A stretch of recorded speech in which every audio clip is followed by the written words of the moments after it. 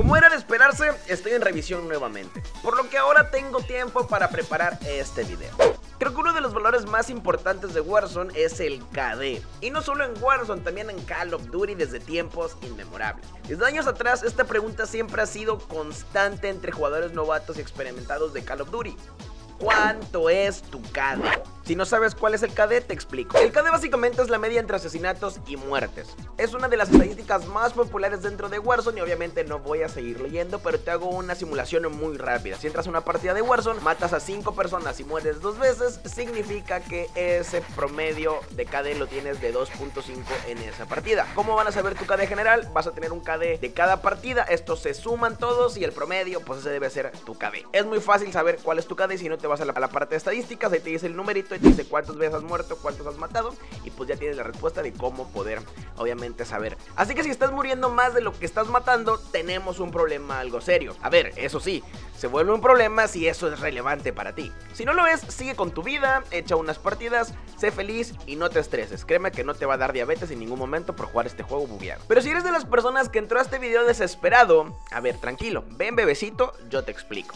Tengo la solución, el conjuro mágico, la fórmula secreta, que te hará subir el KD de forma estratosférica, a ver, siempre y cuando le pongas atención al video. ¿Este video te hará mejor al verlo? No.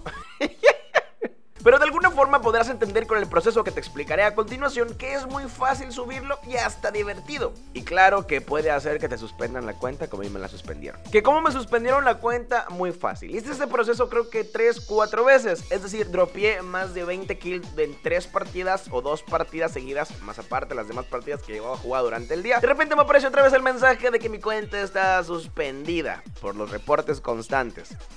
Activision te amo odio. Eres como esa novia tóxica. Eres esa novia tóxica, la que odio, pero la quiero besar. Hoy te tengo 15 consejos para subir tu KD de 0.10 o 0.20 a mínimo un 1 o un 2. Por lo que ya vas a estar bastante, bastante, bastante normalito. Sin más preámbulo, vamos para allá. Número 1. Tienes que ver mínimo 3 o 4 de mis videos de consejos para que puedas entender terminologías diferentes. También te los recomiendo porque tenemos casi en todos los videos muchos consejos y eso te puede ayudar muchísimo a poder entender el contexto de este mismo o pues también poder fortalecer ciertas áreas que no tengas muy muy establecidas. Consejo número 2. No juegues resurgimiento. Igual puedes hacerme caso o igual no puedes hacerme caso. Te explico rápidamente. Si quieres mejorar tu KD, resurgimiento es un modo de juego en el que mueres constantemente.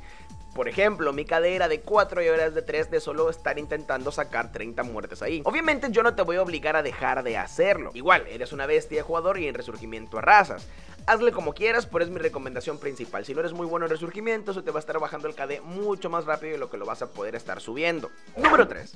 Vas a seleccionar solos, dúos, tríos o cuartetos. Obviamente todas con equipo. A mí se me hace más fácil la lista de juegos en cuartetos con equipo porque la de solos siento que hay mucho campero. Pero en este video te lo demuestro. Voy a jugar solos para que veas que en el modo que es mucho más difícil para mí, este método está bien súper efectivo. Consejo número 4. Vas a caer en hidroeléctrica en la parte de la gasolinera.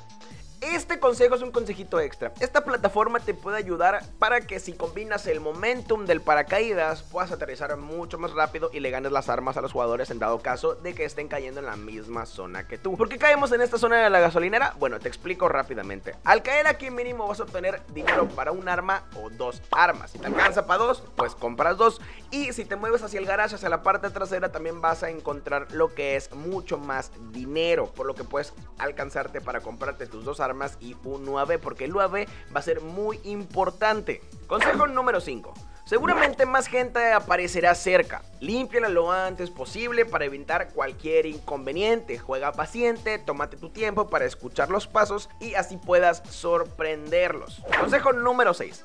En esta zona tocan fortalezas una de cada tres partidas. La misión es hacer esta misma fortaleza. ¿Te acuerdas que te había comentado que podrías comprar un UAV porque era muy importante? Este UAV va a ser principalmente para saber si hay gente cerca de la fortaleza.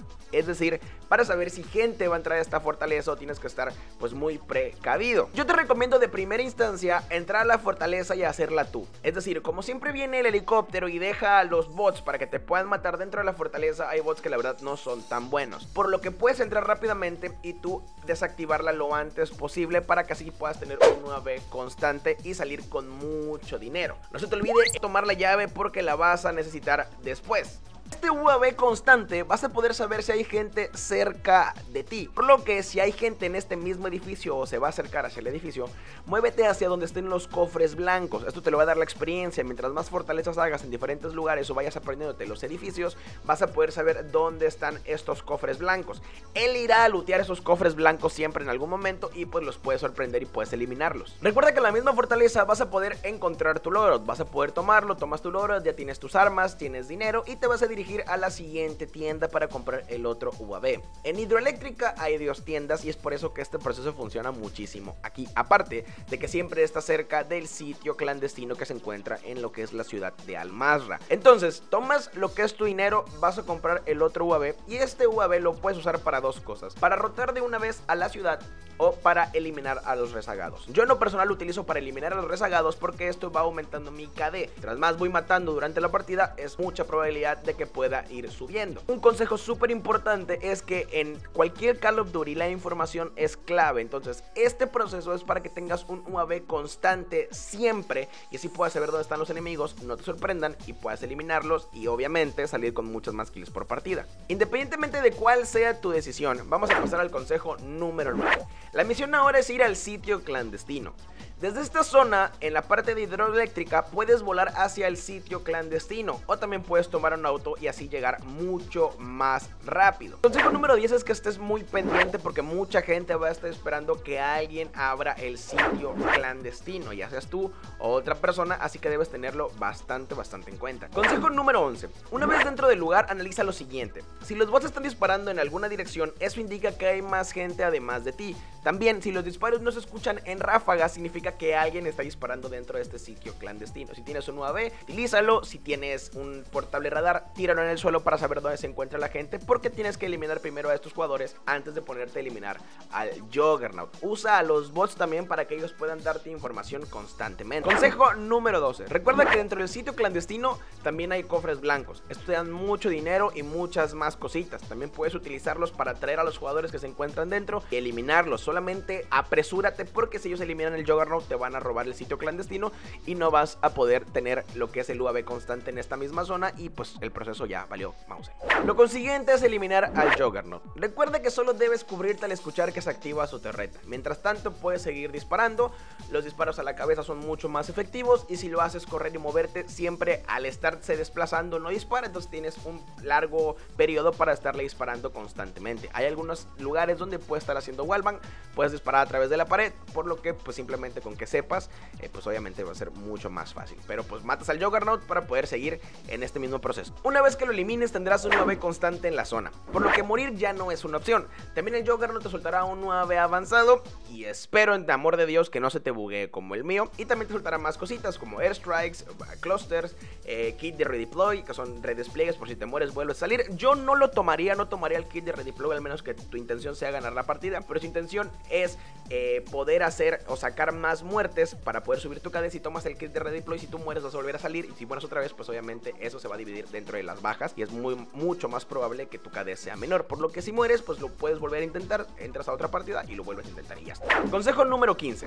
Ahora al tener información, puedes saber dónde está la gente. Y así eliminarla. Lo que hará que mates más en partida. Y después de un tiempo, tu KD subirá. Lo demás dependerá de cómo aproveches esos atributos del juego y puedas hacerte de más kills. Pero en conclusión de todo el video, es un proceso que te ayudará a tener UAVs constantes durante toda la partida. Te diste cuenta que en todo momento sabíamos dónde se encontraba la gente porque teníamos un UAV desde el inicio que empezamos la partida en la gasolinera hasta el final con la fortaleza. Por lo que nadie va a poder sorprenderte, a menos que se ponga Ghost, claro está. Si esto te funciona, no olvides dejarlo aquí abajo en los comentarios y también recuerda compartir este video con algún compañero para que aprenda a cómo jugar un poco más agresivo y de esta misma forma poder subir su KD. Recuerda dejar en los comentarios algún consejo que pienses que nos hizo falta y este podría aparecer en futuros videos. Sin nada más que decir, les mando un fuerte abrazo, espero que este video les ayude mucho y un besito en la cola. Nos vemos.